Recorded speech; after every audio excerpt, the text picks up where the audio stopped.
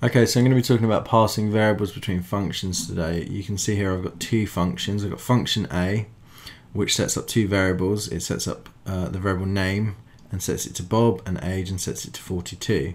It then returns the name and age. I then got function B, and this uh, takes name and age from function A and then prints the two variables, and the last command is running the function B.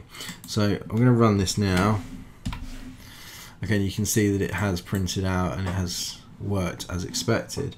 There's a couple of ways you can do this. So within here I'm passing the variables between the functions. Now I could have done it slightly differently. I could have returned it as a global variable. So I could have done name, uh, age uh, equals, and then I could have done function A, and I can get rid of this line here and that would probably give me the same result but it would be using it would be returning name and age as a global variable. So if I uh, save that and run that I should get exactly the same result Bob and 42 which is fine but um, it's uh, not great to use um, global variables so I'm going to take that out. And I'm going to leave it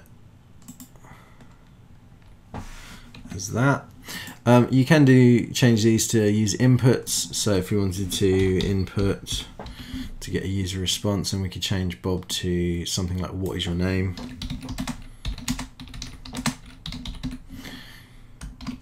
And you could do the same with age.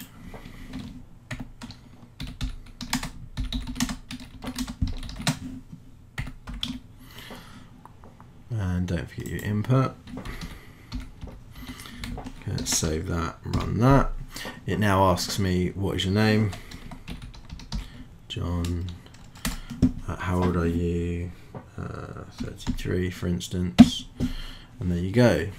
So hopefully that's helped and made things a little bit clearer on how you can pass um, variables between uh, functions in Python.